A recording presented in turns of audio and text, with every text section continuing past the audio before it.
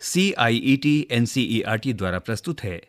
सामाजिक विज्ञान के पाठ्यक्रम के अंतर्गत कक्षा सात की ध्वनि पाठ्य पुस्तक सामाजिक एवं राजनीतिक जीवन। पृष्ठ सोलह। इकाई दो। पृष्ठ संख्या सत्रह। राज्य सरकार शिक्षकों के लिए। ये दो अध्याय अध्याय दो और तीन राज्य सरकार के बारे में है और ठोस उदाहरणों के ज़रिए सरकार के काम और ढांचे को प्रस्तुत करने का प्रयास करते हैं। हमने इनमें स्वास्थ्य के क्षेत्र से उदाहरण लिए हैं, जबकि कुछ दूसरे उदाहरण भी उतने ही महत्वपूर्ण हो सकते हैं। अध्याय दो लोगों के लिए बहुत महत्व रखने वाले एक मुद्दे के रूप में स्वास्थ्य की चर्चा करता है। स्वास्थ्य सेवाओं के सार्वजनिक और निजी दोनों पहलू हैं। भारत में स्वास्थ्य सुविधाएँ सबको प्राप्त नहीं है। हालाँकि हमारा संविधान यह मानता है कि स्वास्थ्य का अधिकार हमारे मौलिक अधिकारों का भाग है। फिर भी वो समान रूप से सबके लिए उपलब्ध नहीं है। यहाँ दिए गए विवरणों की मदद से विद्यार्थी ये देख पाएँगे कि सरकार से अपेक्षा की जाने वाली भूमिका और आदर्श क्या होने चाहिए? और उसके ढांचे के पीछे किस प्रकार के तर्क व आधार निहित हैं? वर्तमान स्थितियों को बदलने के कुछ तरीकों की भी चर्चा अध्याय में की गई है। सरकार की कार्यप्रणाली और प्रतिनिधित्व, उत्तरदायित्व व सार्वजनिक हित जैसी अवधारणाओं की बातचीत अध्याय तीन में की गई है। यद्यपि विधायिका और कार्यकारिणी दोनों के बारे में चर्चा की गई है। हमें यह अपेक्षा नहीं रखनी चाहिए कि विद्यार्थी इनके बीच के कई बारीक अंतरों को पूरी तरह पकड़ पाएँगे। यही बेहतर होगा कि हम धैर्यपूर्वक उन्हें कई प्रश्नों पर विचार करने के लिए प्रोत्साहित करें। जैसे, सबसे शक्तिशाली व्यक्ति कौन लग रहा है? विधायक से ये समस्या हल क्यों नहीं हो सकती है? आदि। ऐसे प्रश्नों की मदद से वे सरकारी ढांचे के तर्कों और आधारों को स्वयं अपने मन में निर्मित कर पाएँगे। ये बहुत ज़रूरी है कि बच्चे सार्वजनिक मुद्दों पर अपने विचार व्यक्त करने का आत्मविश्वास पा सकें और इन अध्यायों के अभ्यासों को करते हुए सरकार की भूमिका की सही समझ बना सकें। आप उनके साथ चर्चा करने के लिए और समस्याओं के निदान ढूँढने के लिए कई परिचित मामलों का चुनाव कर सकती हैं, जैसे पानी, यातायात, स्कूल की फ़ीस, किताबें, बाल श्रम इत्यादि। वॉलपेपर के माध्यम से इन्हें अपने विचार प्रस्तुत करने दीजिए। सरकार और उसके कार्यों पर चर्चा अमूमन उबाऊ और रूखी हो जाती है। इसलिए यह और भी ज़रूरी हो जाता है कि इन अध्यायों को करते हुए हम कक्षा को ज़्यादा शिक्षात्मक बनाने के बजाय चर्चा, विचार विमर्श और गतिविधि से भरपूर बनाएँ। अध्याय दो। शीर्षक, स्वास्थ्य में सरकार की भूमिका। पृष्ठ 18 से पृष्ठ 29 तक। पृष्ठ 18 यहाँ बहुत से चित्र बने हुए हैं। जिनमें स्वास्थ्य में सरकार की भूमिका प्रदर्शित की गई है। लोकतंत्र में लोगों की यह अपेक्षा रहती है कि सरकार उनके कल्याण के लिए कार्य करे। यह शिक्षा, स्वास्थ्य, रोज़गार प्रदान करने एवं गृह निर्माण, सड़कों के विकास तथा बिजली आदि उपलब्ध कराने के माध्यमों से हो सकता है। इस अध्याय में हम स्वास्थ्य के अर्थ और उससे संबंधित समस्याओं को जांचेंगे। इस अध्याय के उप शीर्षकों को ध्यान से सुनिए। आपके विचार में यह विषय सरकार के काम से किस प्रकार जुड़ा हुआ है? पृष्ठ 19 स्वास्थ्य क्या है? स्वास्थ्य के बारे में हम अनेक प्रकार से सोच सकते हैं। स्वास्थ्य का अर्थ है, हमारा बीमारियों और चोट आदि से मुक्त रहना। लेकिन स्वास्थ्य केवल बीमारियों से संबंधित नहीं है। आपने पहले बताए कोलाज में से केवल कुछ स्थितियों को ही स्वास्थ्य से जोड़कर देखा होगा। प्राय हम ध्यान नहीं देते हैं कि पहले बताई गई हर स्थिति का संबंध स्वास्थ्य से है। बीमारी के अलावा हमारे लिए उन कारणों पर भी विचार करना आवश्यक है जो हमारे स्वास्थ्य पर प्रभाव डालते हैं।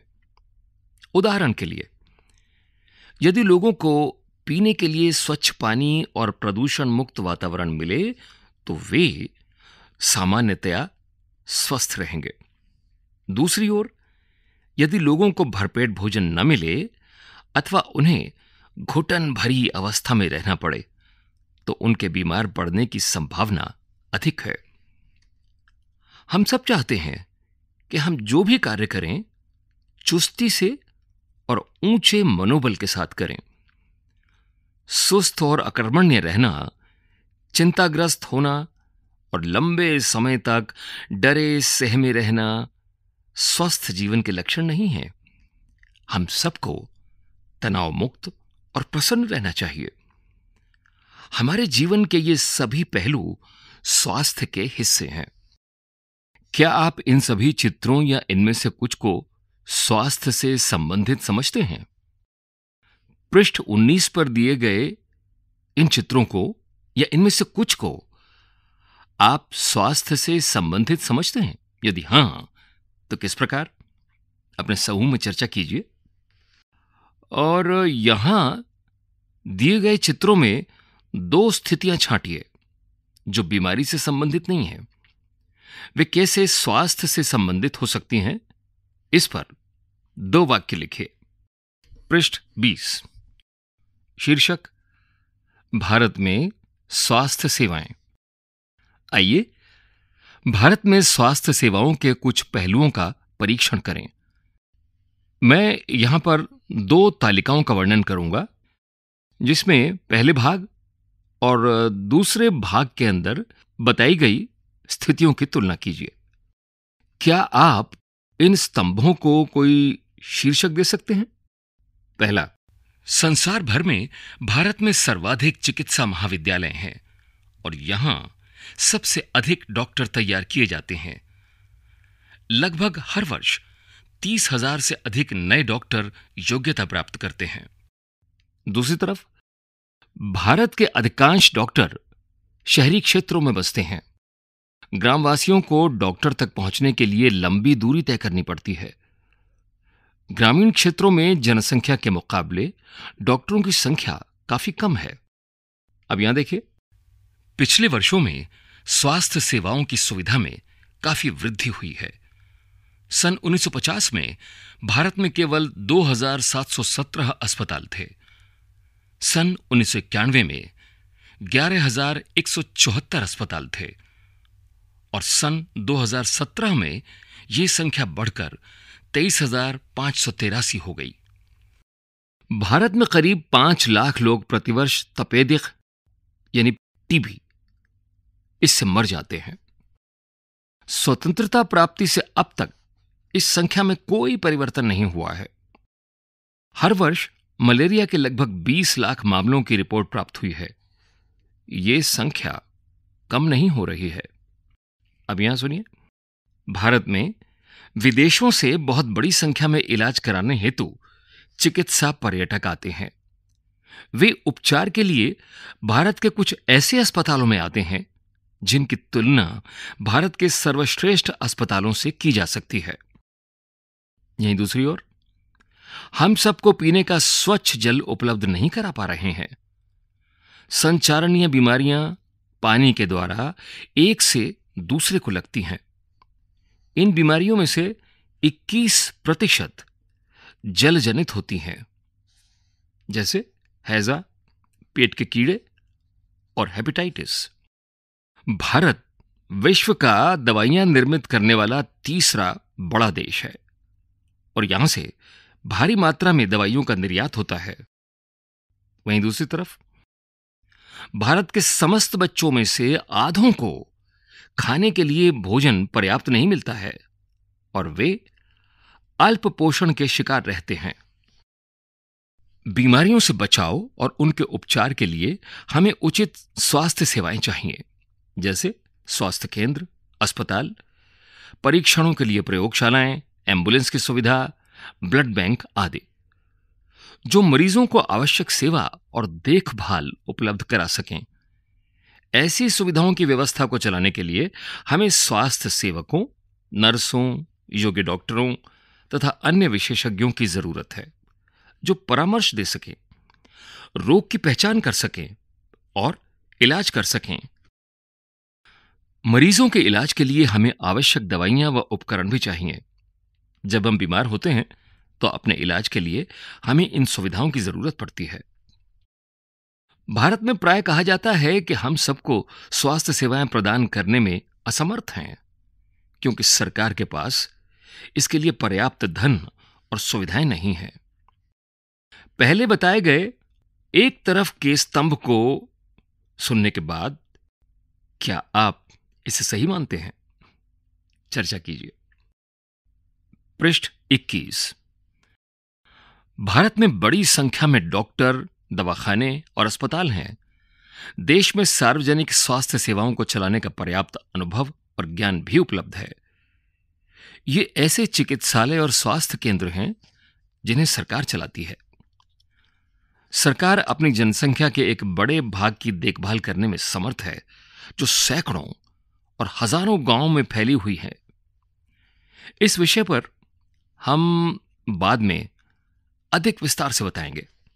साथ ही चिकित्सा विज्ञान में बहुत असाधारण प्रगति हुई है, जिसके चलते देश में इलाज की नई तकनीकें और विधियाँ उपलब्ध हैं। फिर भी, जो बाद में बात कही गई है, उससे पता चलता है कि हमारे देश में स्वास्थ्य की स्थिति कितनी खराब है। अभी बताए गए सकारात्मक विकास के बाद भी हम जनता को उचित स्वास्थ्य सेवाएँ देने में असमर्थ हैं। ये विरोधाभासजनक स्थिति है, जो हमारी अपेक्षाओं के विपरीत है। हमारे देश के पास पैसा है, ज्ञान है और अनुभवी व्यक्ति हैं, फिर भी हम सबको आवश्यक स्वास्थ्य सेवाएँ देने में असमर्थ हैं। हम यहाँ इसके कुछ कारणों को आपको बताएँगे। यह एक चित्र है। उसमें लिखा है, सरकारी अस्पतालों के मरीजों को अक्सर ऐसी लंबी लाइनों में खड़े होकर इंतज़ार करना पड़ता है। हाकिम शेख की कहानी। हाकिम शेख, पश्चिम बंग खेत मजदूर समिति पीबी के एम एस के एक सदस्य थे, जो पश्चिमी बंगाल में खेतीहर मजदूरों का एक संगठन है। 1922 में एक शाम वे चलती हुई ट्रेन से गिर गए। और उन्हें सिर में गंभीर चोटें आईं। उनकी हालत बहुत नाजुक थी और उन्हें तुरंत इलाज की आवश्यकता थी। उन्हें कोलकाता के एक सरकारी अस्पताल में ले जाया गया, लेकिन उन्हें भर्ती करने से मना कर दिया गया, क्योंकि वहाँ कोई बिस्तर खाली नहीं था। दूसरे अस्पताल में आवश्यक सुविधाएँ या उनके इलाज के लिए ज़रूरी विशेषज्ञ नहीं थे। इस प्रकार अत्यंत गंभीर हालत में उन्हें चौदह घंटे के अंदर आठ सरकारी अस्पतालों में ले जाया गया। किंतु किसी ने भी उन्हें भर्ती नहीं किया गया। अंत में उन्हें एक निजी अस्पताल में भर्ती कराया गया, जहाँ उनका इलाज किया गया। उन्होंने अपने इलाज पर बहुत पैसा खर्च किया। जिन अस्पतालों ने उन्हें भर्ती करने से इनकार कर दिया था उनके उपेक्षापूर्ण रवैये से नाराज़ और क्षुब्ध होकर हाकिम शेख एवं P B K S M ने कोर्ट में मुकदमा दायर कर दिया। यहाँ बताई गई कहानी को आप भी पढ़िए और कल्पना कीजिए कि आप एक न्यायाधीश हैं। आप हाकिम शेख को क्या कहेंगे? पेज 22 शीर्षक, एक इलाज का खर्च। अमन और रंजन अच्छे मित्र हैं। रंजन का परिवार साधन संपन्न है, जबकि अमन के माता पिता जैसे तैसे गुजारा चलाते हैं। रमन बस से उतरते हुए अमन को देखकर बोला, अरे अमन, बड़े दिनों बाद मिला, कैसे हो? वो बोला, मुझे वायरल बुखार हो गया था और अस्पताल में जाना पड़ा। अच्छा मुझे भी वायरल हुआ था। मैं इसी सोमवार से स्कूल आ रहा हूँ। मेरे डैडी किंग्सवे के नए अस्पताल में डॉक्टर को दिखाने ले गए। वहाँ बहुत ही अच्छा लगा। अस्पताल की बिल्डिंग ऐसी चकाचक दिखती थी कि मुझे लगा कोई पाँच सितारा होटल है। अमन ने कहा, डैडी कह रहे थे ये एक प्राइवेट अस्पताल है और बढ़िया से बढ़िया सुविधाएँ यहाँ मिलती हैं। रिसेप्शन काउंटर पर ही डैडी को पाँच सौ रुपए देने पड़े। डॉक्टर को दिखाने से पहले ही, पता है, वहाँ बड़ा अच्छा संगीत बज रहा था और सब कुछ कितना साफ़ सुथरा और जगमग जगमग था। डॉक्टर ने मुझे बहुत से परीक्षण करवाने को कहा, पर वहाँ तो सब लोग दोस्तों की तरह बातें कर रहे थे। एक महिला ने जाँच के लिए मेरा खून लिया, उसने बातों बातों में खूब मज़ाक किया और मुझे दर्द का पता ही नहीं चला। डॉक्टर बोली, क्या तुमने रियलिटी टीवी पर बैटमैन वाला चुटकुला सुना है? जब सारे परीक्षणों के नतीजे आ गए तो हम वापस डॉक्टर के पास गए। उन्होंने नतीजों को देखा और कहा, सब कुछ ठीक ठाक है। मुझे सिर्फ़ वायरल हुआ है। उन्होंने कुछ दवाइयाँ लिख दी और आराम करने को कहा। डॉक्टर बोला हाँ तो छोटे जनाब, ये गुलाबी गोली दिन में तीन दफ़ा लेनी है। ये सफ़ेद वाली सोने से पहले और ये शरीर के दर्द के लिए है और ये एक सिरप है। घबराओ नहीं, बढ़िया स्वाद है इसका। मन बोला धन्यवाद डॉक्टर। मुझे तो अभी से ठीक लगने लगा है। पृष्ठ संख्या तेईस। तुम्हें ये सारी बातें बताने के लिए मैं कब से इंतज़ार कर रहा हूँ अच्छा अपनी तो कहो, तुम किस अस्पताल में गए? हम्म वो तुम्हारे वाले अस्पताल जितना अच्छा तो नहीं था। पहले तो अब्बा मुझे ले ही नहीं जाना चाहते थे, क्योंकि इसमें बहुत समय लगने वाला था। और सच में, कितना ज़्यादा समय लगा। हम एक बड़े से सरकारी अस्पताल में गए। हमें ओपीडी काउंटर पर ही एक लंबी लाइन में इंतज़ार करना पड़ा। मेरी तबीयत इतनी खराब हो रही थी कि मैं पूरे समय अब्बा के सहारे टिका रहा। जब हमारी बारी आई तो डॉक्टर ने मेरी जाँच की और खून की जाँच कराने के लिए कहा। इसके लिए हमें एक लंबी लाइन में खड़ा होना पड़ा। जहाँ जाँच के लिए खून लिया जा रहा था, वहाँ भी बहुत भीड़ भड़क्का हो रहा था। हमें तीन दिन बाद खून की जाँच का नतीजा मिला। फिर हम वापस अस्पताल गए। उस दिन वहाँ कोई दूसरी डॉक्टर बैठी थी। डॉक्टर बोली, मुझे इसका ओपीडी कार्ड दिखाओ और खून की रिपोर्ट। जल्दी करो। देखने के बाद बोली, इसे वायरल हुआ लगता है। कोई फ़िक्र की बात नहीं है। बुखार उतारने की ये गोली इसे दे देना। बस, और कुछ नहीं। मेरा अस्पताल था तो बहुत बढ़िया, पर उन्होंने मुझे ज़्यादा दवाइयाँ दे दी और मेरे इलाज में ज़्यादा खर्च हो गए। दूसरा बच्चा सोचने लगा अच्छा मेरे इलाज में तो ज़्यादा खर्च नहीं हुए। पृष्ठ 24 शीर्षक, सार्वजनिक और निजी स्वास्थ्य सेवाएँ। इस कहानी से आप समझ गए होंगे कि हम स्वास्थ्य सेवाओं को दो मोटे वर्गों में बांट सकते हैं। अ, सार्वजनिक स्वास्थ्य सेवाएँ? ब, निजी स्वास्थ्य सेवाएँ। सार्वजनिक स्वास्थ्य सेवाएँ। सार्वजनिक स्वास्थ्य सेवा स्वास्थ्य केंद्रों व अस्पतालों की एक श्रृंखला है, जो सरकार द्वारा चलाई जाती है। ये केंद्र व अस्पताल आपस में जुड़े हुए हैं। जिससे ये शहरी व ग्रामीण दोनों क्षेत्रों को सुविधाएँ प्रदान करते हैं। और सभी बीमारियों, साधारण से लेकर विशेष देखभाल की ज़रूरत वाली बीमारियाँ, इनका इलाज प्रदान करते हैं। ग्राम के स्तर पर एक स्वास्थ्य केंद्र होता है, जहाँ प्रायः एक नर्स और एक ग्राम स्वास्थ्य सेवक रहता है। इन्हें सामान्य बीमारियों के इलाज के लिए प्रशिक्षण दिया जाता है, और वे प्राथमिक स्वास्थ्य केंद्र के डॉक्टरों की देखरेख में कार्य करते हैं। ग्रामीण क्षेत्र में ऐसा केंद्र कई गाँवों की जरूरतों को पूरा करता है। जिला स्तर पर जिला अस्पताल होता है, जो इन सभी स्वास्थ्य केंद्रों की देखरेख करता है। बड़े शहरों में कई सरकारी अस्पताल होते हैं, जैसे एक वो था, जिसमें अमन को ले जाया गया था। और ऐसे में विशिष्ट सरकारी अस्पताल हैं जिनका ज़िक्र हाकिम शेख की कहानी में हुआ था। इस स्वास्थ्य सेवा को कई कारणों से सार्वजनिक कहा जाता है। सरकार ने सभी नागरिकों को स्वास्थ्य सेवाएँ प्रदान करने की वचनबद्धता को पूरा करने के लिए ये अस्पताल तथा स्वास्थ्य केंद्र स्थापित किए हैं। इन सेवाओं को चलाने के लिए धन उस पैसे से आता है जो लोग सरकार को टैक्स के रूप में देते हैं। इसलिए ये सुविधाएँ सबके लिए हैं।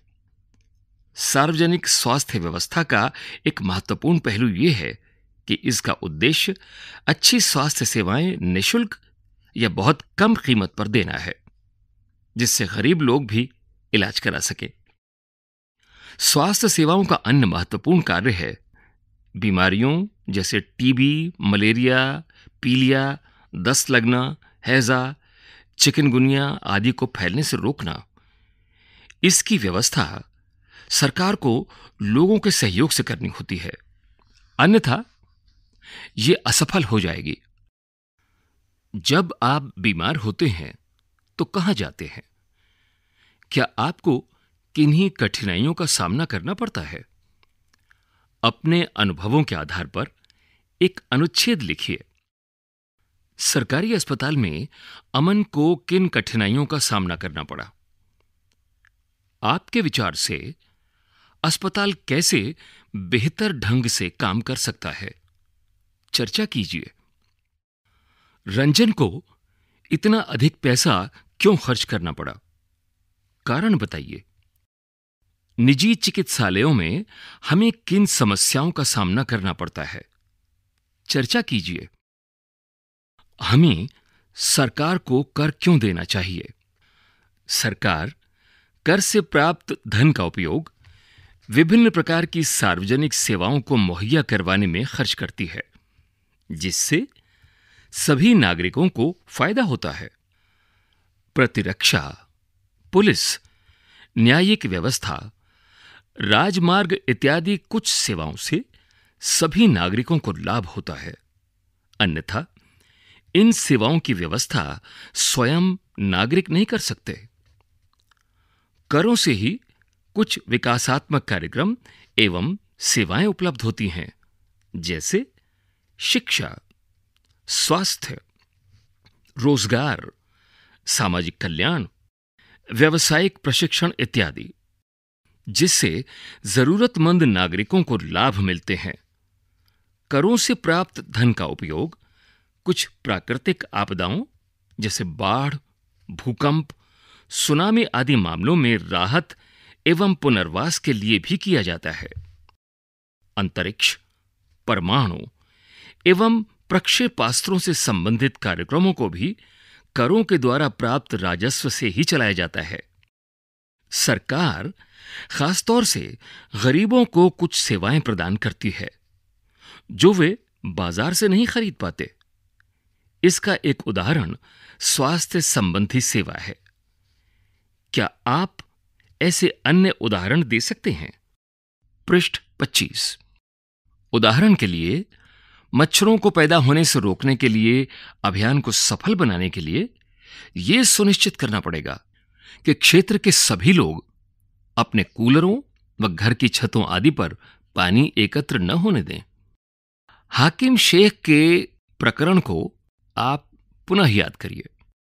क्या आप जानना चाहेंगे कि उनके मामले में कोर्ट ने क्या निर्णय दिया?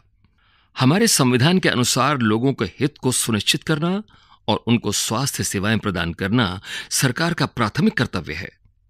सरकार को हर व्यक्ति के जीवन के अधिकार की रक्षा करनी है। अदालत ने कहा कि हाकिम शेख को जितनी कठिनाइयों से गुजरना पड़ा, उसमें उनकी जान भी जा सकती थी। यदि कोई अस्पताल समय पर व्यक्ति को इलाज नहीं प्रदान कर पाता है तो इसका तात्पर्य है, उसे जीवन की सुरक्षा नहीं दी जा रही है। अदालत ने यह भी कहा कि सरकार का कर्तव्य है कि वो मरीजों को आवश्यक स्वास्थ्य सेवाएँ दे, जिसमें आकस्मिक इलाज की सुविधा भी सम्मिलित हो। अस्पताल और उनके स्वास्थ्य संबंधी कर्मचारियों को आवश्यक इलाज प्रदान करने की ज़िम्मेदारी पूरी करनी चाहिए। कई सरकारी अस्पतालों ने हाकिम शेख का इलाज करने से मना कर दिया था। इसलिए अदालत ने राज्य सरकार को निर्देश दिए कि वो हाकिम शेख द्वारा इलाज पर व्यय किए गए पूरे खर्च का भुगतान करे।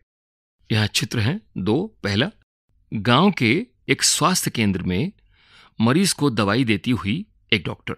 दूसरा चित्र, एक सरकारी अस्पताल में अपने बीमार बच्चे के साथ एक औरत यूनिसेफ के अनुसार, हर साल दस लाख बच्चे ऐसे संक्रमणों से मर जाते हैं, जिन्हें रोक पाना संभव है। शीर्षक, निजी स्वास्थ्य सेवाएँ। हमारे देश में कई तरह की निजी स्वास्थ्य सेवाएँ पाई जाती हैं। बड़ी संख्या में डॉक्टर अपने निजी दवाखाने चलाते हैं। ग्रामीण क्षेत्रों में पंजीकृत चिकित्सा व्यवसायी, आरएमपी, मिल जाते हैं। शहरी क्षेत्रों में बड़ी संख्या में डॉक्टर हैं। जिनमें से बहुत से विशेषज्ञ की सेवाएँ प्रदान करते हैं। निजी रूप से चलाए जा रहे अस्पताल व नर्सिंग होम भी हैं। काफ़ी संख्या में प्रयोगशालाएँ हैं जो परीक्षण करती हैं व विशिष्ट सुविधाएँ उपलब्ध कराती हैं, जैसे एक्सरे, अल्ट्रासाउंड आदि। ऐसी दुकानें भी हैं जहाँ से हम दवाइयाँ खरीद सकते हैं। किन किन अर्थों में सार्वजनिक स्वास्थ्य व्यवस्था सबके लिए उपलब्ध एक सेवा है? कुछ प्राथमिक स्वास्थ्य केंद्रों अथवा अस्पतालों की सूची बनाइए, जो आपके घर के आसपास हैं। अपने अनुभव से अथवा उनमें से किसी एक में जाकर केंद्र चलाने वाले लोगों का और वहाँ दी जाने वाली सुविधाओं का पता लगाइए। पृष्ठ 26 जैसा कि इनके नाम से ज्ञात होता है, निजी स्वास्थ्य सेवाओं पर सरकार का स्वामित्व अथवा नियंत्रण नहीं होता। सार्वजनिक स्वास्थ्य सेवाओं के विपरीत, इन निजी स्वास्थ्य संस्थाओं में मरीजों को हर सेवा के लिए बहुत धन व्यय करना पड़ता है। आज निजी स्वास्थ्य सेवाएँ चारों ओर दिखाई देती हैं। अब तो बड़ी बड़ी कंपनियाँ अस्पताल भी चलाती हैं। कुछ कंपनियाँ दवाइयों को बनाने और बेचने में भी लगी हैं। शहर के कोने कोने में दवाइयों की दुकानें देखी जा सकती हैं। ये चित्र है ये। दिल्ली के एक प्रमुख निजी अस्पताल में ऑपरेशन के बाद मरीजों की देखभाल का कमरा। शीर्षक, स्वास्थ्य सेवा और समानता। क्या सबके लिए पर्याप्त स्वास्थ्य सेवाएँ उपलब्ध हैं? हम भारत में ऐसी स्थिति का सामना कर रहे हैं, जहाँ निजी सेवाएँ तो बढ़ रही हैं, परंतु सार्वजनिक नहीं। ऐसी दिशा में लोगों को मुख्यतः निजी सेवाएँ ही उपलब्ध हो पाती हैं। ये शहरी क्षेत्रों में केंद्रित हैं। इन सेवाओं का मूल्य भी अपेक्षाकृत अधिक रहता है। दवाइयाँ महँगी होती हैं। बहुत से लोग उन्हें खरीदने में समर्थ नहीं होते और इसीलिए जब परिवार में बीमारी होती है तो उन्हें ऋण लेना पड़ता है। कुछ निजी सेवाएँ अधिक कमाने के लिए प्रायः ऐसे कार्यों को प्रोत्साहित करती हैं, जो सही नहीं है। कई बार सस्ते तरीके उपलब्ध होने पर भी उनके प्रयोग नहीं किए जा सकते। उदाहरण के लिए, प्रायः देखा जाता है कि कुछ चिकित्सक ज़रूरत से ज़्यादा दवाइयाँ, इंजेक्शन या सेलाइन आदि की सलाह देते हैं, जबकि साधारण इलाज भी पर्याप्त हो सकता है। आपके घर के पास कौन सी निजी स्वास्थ्य सेवाएँ उपलब्ध हैं? उन्हें चलाने वाले लोगों और वहाँ दी जाने वाली सुविधाओं का पता लगाइए। भारतीय आयुर्विज्ञान परिषद का आयुर्विज्ञान नैतिक संहिता कहता है, जहाँ तक संभव हो, प्रत्येक चिकित्सक को औषधों के जेनेरिक नाम ही उपचार पर्चों में लिखने चाहिए और सुनिश्चित करना चाहिए कि ये युक्त युक्त और उपयुक्त रूप में हों। स्वास्थ्य सेवा को और अधिक किफायती कैसे बनाया जा सकता है, इस पर चर्चा करें। एक चित्र है। जन औषधि मेडिकल स्टोर्स, पृष्ठ 27 तथ्य यह है कि जनसंख्या के 20 प्रतिशत लोग ही बीमारी के दौरान आवश्यक दवाइयों को खरीदने में सक्षम होते हैं।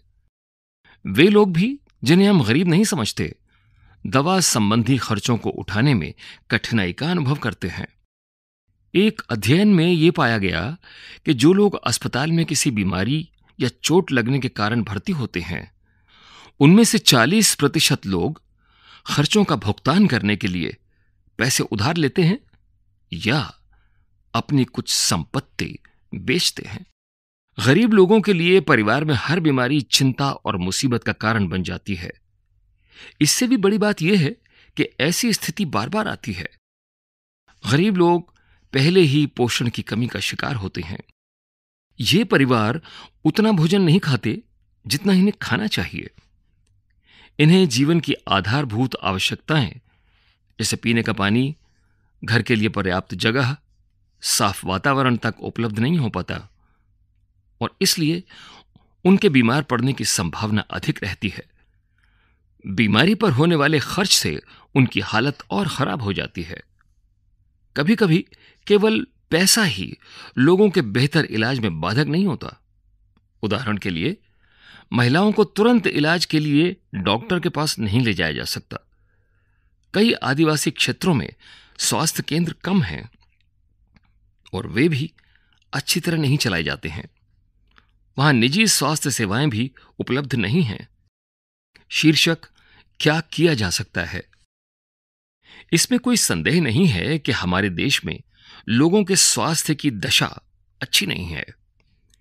यह सरकार का उत्तरदायित्व है कि वो अपने सब नागरिकों को, विशेषकर गरीबों और सुविधाहीनों को गुणात्मक स्वास्थ्य सेवाएँ प्रदान करे।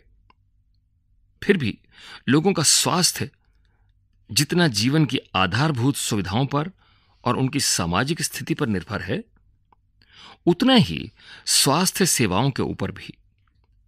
इसलिए लोगों के स्वास्थ्य की दशा सुधारने के लिए दोनों पक्षों पर कार्य करना आवश्यक है। ऐसा करना संभव है। आगे, बताए हुए उदाहरण को ध्यान से सुनिए। लेकिन इसी पृष्ठ पर तीन चित्र हैं। पहला, ग्रामीण इलाकों में अक्सर एक जीप ही मरीजों के लिए चलता फिरता दवाखाना बन के आती है। दूसरा चित्र, एक गर्भवती औरत को एक योग्य डॉक्टर को दिखाने के लिए कई किलोमीटर पैदल चलना पड़ता है। तीसरा सतत विकास लक्ष्य तीन, उत्तम स्वास्थ्य और खुशहाली। www.in.undp.org good health and wellbeing पृष्ठ 28 शीर्षक, केरल का अनुभव। उन्नीस सौ छियानवे में केरल सरकार ने राज्य में कुछ महत्वपूर्ण परिवर्तन किए। राज्य के पूरे बजट का 40 प्रतिशत पंचायतों को दे दिया गया। इससे पंचायतें अपनी आवश्यकताओं को योजनाबद्ध कर उनकी पूर्ति कर सकती थीं। इससे गाँव के लिए पीने का पानी, आहार, औरतों के लिए विकास और शिक्षा आदि के लिए उचित व्यवस्था सुनिश्चित करना संभव हो सका। इसके फलस्वरूप जल वितरण व्यवस्था की जाँच की गई। स्कूलों और आंगनवाड़ियों के काम को सुनिश्चित किया गया। और गाँव की विशेष समस्याओं पर ध्यान दिया गया। स्वास्थ्य केंद्रों में भी सुधार किया गया। इन सब कार्यों से स्थिति में सुधार आया। इतने प्रयत्नों के बाद भी कुछ समस्याएँ तो बनी रही, जैसे दवाइयों की कमी, अस्पतालों में अपर्याप्त बिस्तर, पर्याप्त डॉक्टरों का न होना आदि। इन समस्याओं को दूर करने की आवश्यकता है। अधिक जानकारी के लिए लॉग इन करें H T T P slash L S G K E R A L A dot G O V dot in slash N आइए, अब एक अन्य देश का उदाहरण देखें और स्वास्थ्य संबंधी मुद्दों पर उनकी कार्य पद्धति को जानें। शीर्षक कोस्टारिका का तरीका। कोस्टारिका को मध्य अमेरिका का सबसे स्वस्थ देश माना जाता है। इसका मुख्य कारण उनके संविधान में निहित है। कई वर्षों पहले कोस्टारिका ने एक बहुत महत्वपूर्ण निर्णय लिया था कि वे देश में सेना नहीं रखेंगे। इससे उन्हें सेना पर व्यय किए जाने वाले धन को, लोगों की शिक्षा, स्वास्थ्य और अन्य आधारभूत जरूरतों पर खर्च करने में मदद मिली। कोस्टारिका की सरकार मानती है कि देश के विकास के लिए देश का स्वस्थ होना ज़रूरी है और इसीलिए अपने देशवासियों के स्वास्थ्य पर बहुत ध्यान देती है। कोस्टारिका की सरकार अपने सभी निवासियों को स्वास्थ्य के लिए मूलभूत सेवाएँ व सुविधाएँ देती है। जैसे पीने का सुरक्षित पानी, सफ़ाई, पोषण और आवास। स्वास्थ्य की शिक्षा को बहुत महत्वपूर्ण माना जाता है। और सभी स्तरों पर स्वास्थ्य संबंधी ज्ञान शिक्षा का एक ज़रूरी भाग है। भारत के नक्शे में केरल राज्य को गुलाबी रंग से दिखाया गया है। यहाँ आगे भारत का नक्शा दिया गया है। इस नक्शे पर अपनी पेंसिल से केरल राज्य की आकृति बनाइए। पृष्ठ उनतीस। अभ्यास। एक, इस अध्याय में आपने पढ़ा है कि स्वास्थ्य में सिर्फ़ बीमारी की बात नहीं की जा सकती।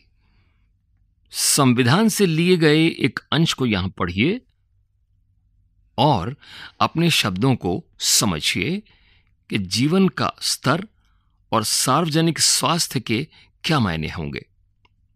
दो, सबके लिए स्वास्थ्य की सुविधाएँ उपलब्ध कराने के लिए सरकार कौन कौन से कदम उठा सकती है? चर्चा कीजिए। तीन, आपको अपने इलाके में उपलब्ध सार्वजनिक और निजी स्वास्थ्य सेवाओं में क्या क्या अंतर देखने को मिलते हैं? तालिका को भरते हुए इनकी तुलना कीजिए और अंतर बताइए। तालिका है शीर्षक सुविधा, जिसमें नीचे है निजी और सार्वजनिक, आगे सामर्थ्य, उपलब्धता, गुणवत्ता यह आपको भरना है। चार, पानी और साफ़ सफ़ाई की गुणवत्ता को सुधारकर अनेक बीमारियों की रोकथाम की जा सकती है। उदाहरण देते हुए इस कथन को स्पष्ट कीजिए। संविधान का एक महत्वपूर्ण हिस्सा यह कहता है कि पोषाहार स्तर और जीवन स्तर को ऊँचा करने तथा लोक स्वास्थ्य का सुधार करने का राज्य का कर्तव्य है। एक चित्र है, उसमें लिखा है क्लीन वाटर एंड सैनिटेशन सतत विकास लक्ष्य छ जल और स्वच्छता। www.in.undp.org शब्द संकलन। सार्वजनिक। वो सेवा या कार्य जो देश के सब लोगों के लिए है और मुख्य रूप से सरकार द्वारा आयोजित किया जाता है। इसमें स्कूल, अस्पताल, टेलीफोन सेवाएँ आदि शामिल हैं। लोग इन सेवाओं की मांग कर सकते हैं और यदि संस्थाएँ ठीक से काम नहीं करती तो इन पर सवाल उठा सकते हैं। निजी।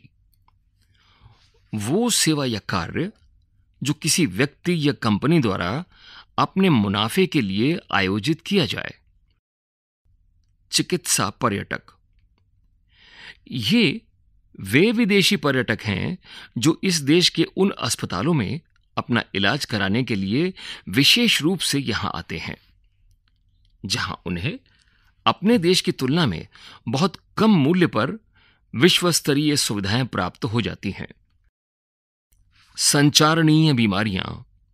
ये वे बीमारियाँ हैं जो एक व्यक्ति से दूसरे व्यक्ति को कई माध्यमों से संचारित करती हैं, जैसे पानी, भोजन, हवा इत्यादि।